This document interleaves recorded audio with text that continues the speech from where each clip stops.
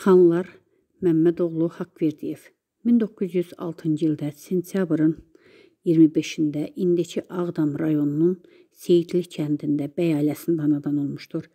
1928-ci ildə Azərbaycan Dövlət Konservatoriyasının vokal şöbəsinə daxil olmuşdur.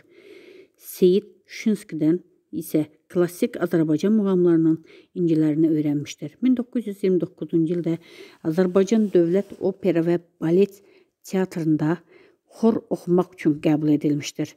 Ona Əsli və Kərəm operasında Hüseyn Qulu Sarabinski kimi sənətkarın tərəf müqabili olmağı tapşırılmışdır. 1932-1933-cü illərdə Türkmənistanda Azərbaycan Dövlət Opera və Dram Teatrı yaradılmışdır. O, Türkmənistanın xalqının rəğbətini qazanmış Məhz bunun nəticəsində də müğənninin əməyinə yüksək qiymət verilmişdir. 1939-cu ildə ona Türkmənistan SSR-nin əməkdar artisti fəxri adı verilmişdir. Xanlar Haqverdiyev Azərbaycan teatrının cəmiyyətinin üzvü idi. 1962-ci ildə dekabr ayında Xanlar Haqverdiyev təqaüdə çıxsa da, bir neçə ay yenidən opera teatrında fəaliyyət göstərdi. Gənc müğənnilərin yetişdirilməsində yaxından kömək etdi.